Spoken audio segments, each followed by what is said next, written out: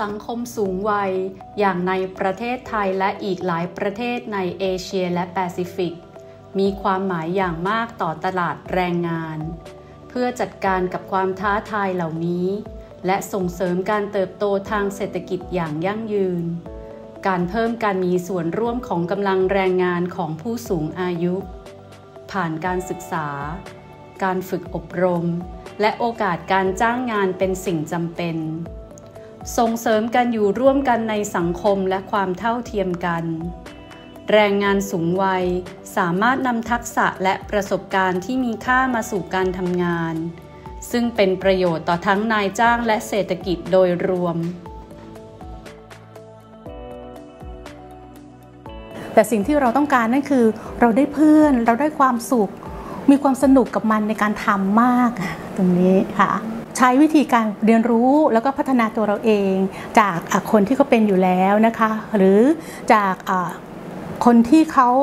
เก่งในด้านนี้เขาจะสอนเราฟรีใช่ไหมคะในอินเทอร์เน็ตต่างๆเนี่ยเราก็ค้นหาได้ จุดเริ่มต้นก็อยู่ที่ใจของเราเนี่ยค่ะ เราอยากจะทำอะเมื่อเรามีใจอยากจะทำอะเราต้องรู้ว่าเราทำเพื่ออะไร เราอยากได้อะไรที่เราทำเนี่ย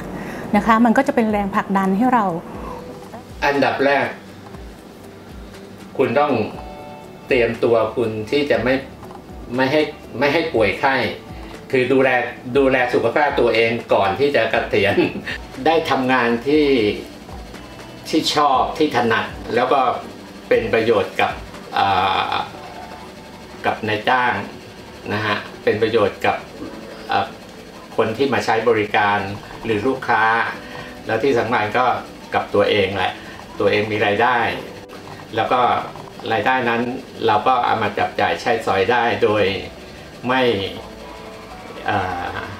ไม่เป็นภาระกับกับลูกหรือคนในครอบครัว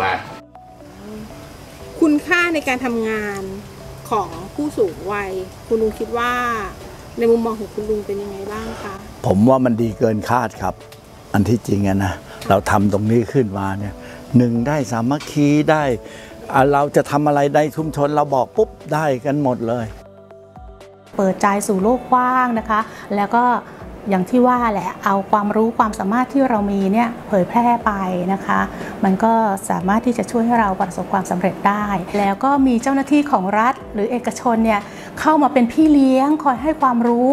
ในทุกๆเรื่องสิ่งที่เราหวังเราต้องการนั่นคือความสุขค่ะความสุขที่ได้ทำแล้วก็ความภูมิใจค่ะ